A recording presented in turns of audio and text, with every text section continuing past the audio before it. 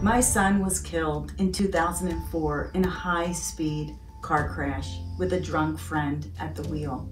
My daughter, Megan Geltz, and her unborn son were killed by a distracted driver on February 29, 2016, Leap Day.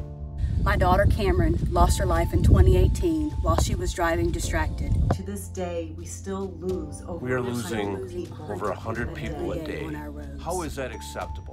Please stop being distracted. When you lose someone you love, there is never a day you forget. We need to do more. Even one death is too many.